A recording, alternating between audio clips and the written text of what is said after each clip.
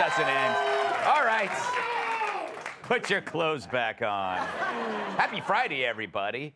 As you know, it's Friday, so that means we welcome the guests first. So let's do that.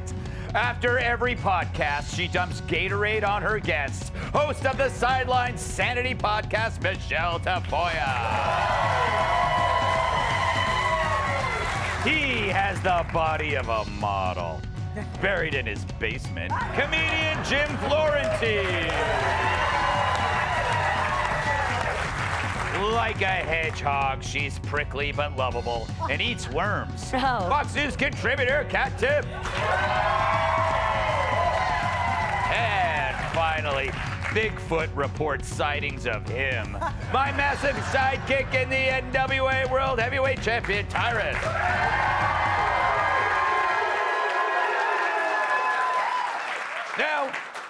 Before we get to some news stories, it's Friday, so we're going to do this. Greg's leftovers. Mmm. Yeah, it's leftovers where I read the jokes we didn't use this week. And as always, it's my first time reading them, and when they suck, I die a little every time. so here we go. A new study shows divorced or single senior citizens are more likely to develop memory loss, as opposed to married women who never forget anything. Ah. Yeah. Old timey humor. That's old timey humor. Damn wife! A transgender cyclist won first place in a women's event this week. She claimed the win made her feel just like Lance Armstrong, except she has two testicles.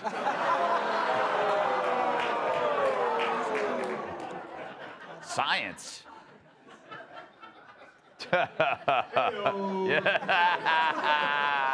All right. Starbucks CEO Howard Schultz has stepped down after a 41 year career with the company. At his retirement party, he was given an engraved mug with his name spelled wrong. Former President Donald Trump is facing threat of arrest for allegedly paying hush money to porn star Stormy Daniels. His lawyers say it's not the first time she's ignored a gag order. Oh,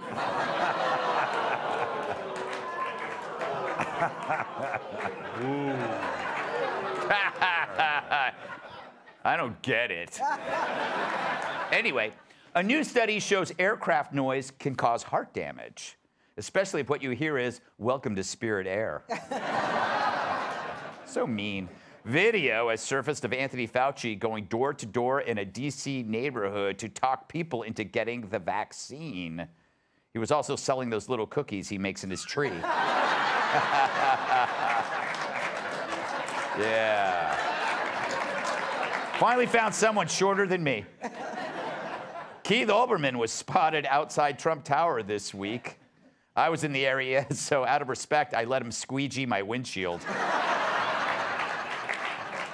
He really is. He's a homeless weirdo now. Almighty, he's fallen. Is that the phrase? Who cares? Schools in LA closed this week due to a teacher's strike. And until teachers return to work, this leaves thousands of students with no one to have sex with. Oh,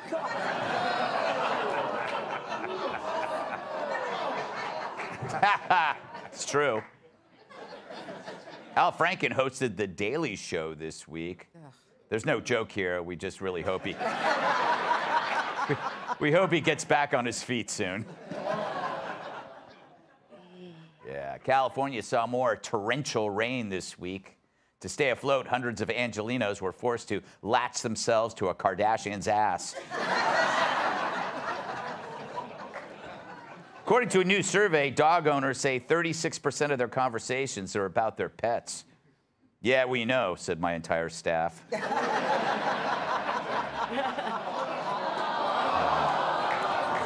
yeah, you talk about that too. All right, an international team of scientists have created the first full map of a fly's brain, but they say the most difficult part of the procedure was folding the map.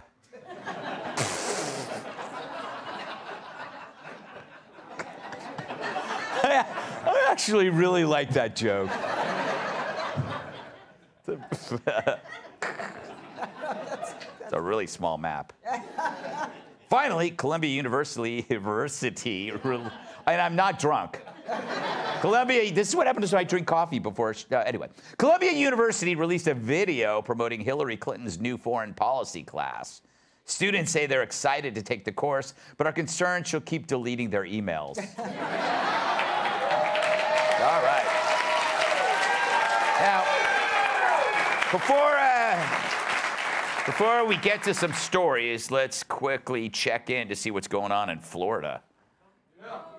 Florida Association of Counties waves in opposition. Pamela Burch Fort, Florida State Conference of NAACP branches, waves in opposition. Anita Dick is an opponent. waves in opposition. Holden Hiscock is also an opponent. Waves in opposition. God, I'm a sucker for that stuff. Seems like a pretty normal meeting to me, so let's move on. The TSA gets trippy when it comes to bringing Skippy. Yep, it's an effort to ban your precious jar of Peter Pan. This week, the TSA tweeted that peanut butter is, in fact, a liquid and subject to the same security rules as all liquids. So, in other words, pack up, everyone. The terrorists have won. they cite the scientific definition of what a liquid actually is something that has no definite shape and takes the contours dictated by its container. It's no wonder this lady now has to take the train.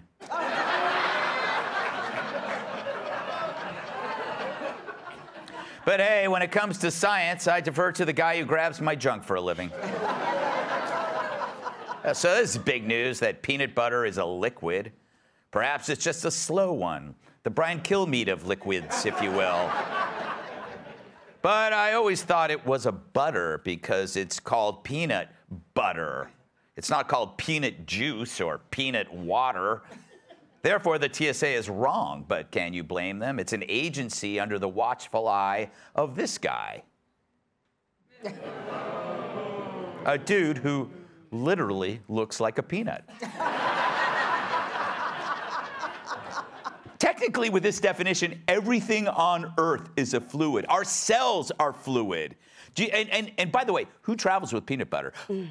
Well, apparently. Aside from Jim Norton. But go ahead. I think it was a priest or someone who tweeted that they got stopped for their thing of peanut butter. Mm-hmm. So you're thinking, okay, why are you bringing that much peanut butter on a plane?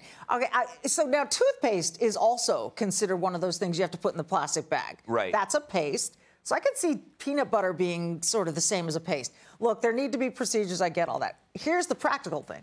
If I'm Peter Pan or Skippy or Jif right now, I am marketing travel size packages of peanut butter mm. that you can put in those Ziplocs, same size, 3.4 ounces. Put them in the travel aisle, put them next to the peanut butter. I don't know. That's what they want you to do. and then they've yep. won, right? And then they've really won. Uh, you know, mashed potatoes are kind of similar to peanut butter. That's what I'm saying. I mean, really, you're talking about something that is neither a liquid or a solid. Like you said, perhaps a paste. A paste. A paste. I saw this happen, though. When? The year was 2016. Mm. Why? Tell me about There was this woman wearing Lululemon leggings who absolutely tore into her husband for putting the almond butter in the carry-on instead of checking it. Really? Yeah, she yelled at him. She called it unbelievable. Oh my gosh. I will never forget it because they took it but like this is how the government works, right? Because she was mad at her husband mm-hmm. when really she should be mad that there's no legitimate reason why you can't bring almond butter on the plane, mm-hmm. or the fact that the TSA costs us billions of dollars a year, and multiple studies show that they miss up to 90% of the you know mock explosives and weapons that they try to get through in trials. Mm-hmm. But that's how the government works. It gets us to all yell at each other, and there's a distraction from all the abuses of power and tyranny going on, and that's what allows it to continue. There you go. So true. So true. Oh, good. Yeah, you know. I also wonder if they're still married. Yeah, they probably are. I often bring almond butter uh, on flights, but then I always leave it in the bathroom. oh, God. it's a great moisturizer, Jim. How you doing? Good. I look. I actually agree with the TSA because really, like if you think about it, if a man could be a woman, why can't peanut butter be a liquid? There we go.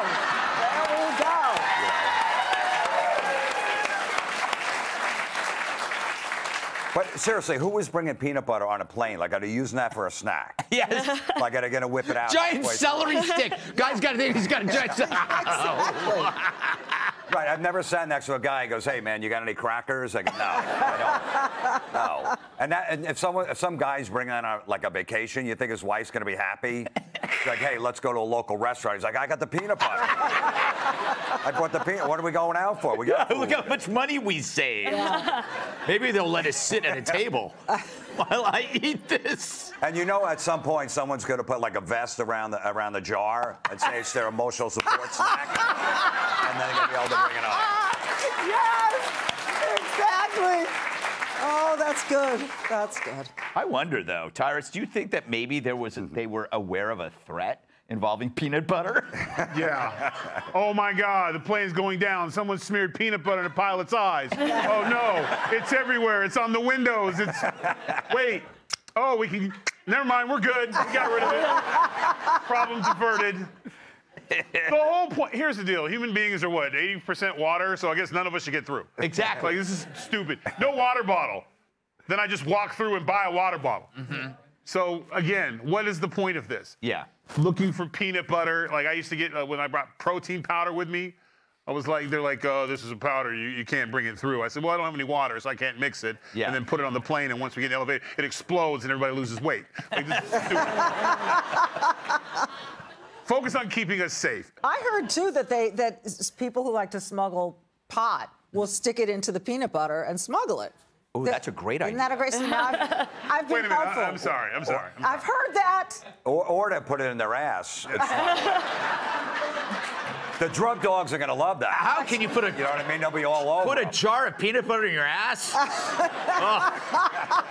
I mean, I'm willing to try, but Oh, like you, like you haven't already. Oh my gosh. We are all dumber now. Yeah, yes, yes. I'm so glad we did this topic. Learned a lot. you smeared us all. Yes, yes, yes. Hey, Sean Hannity here. Hey, click here to subscribe to Fox News YouTube page and catch our hottest interviews and most compelling analysis. You will not get it anywhere else.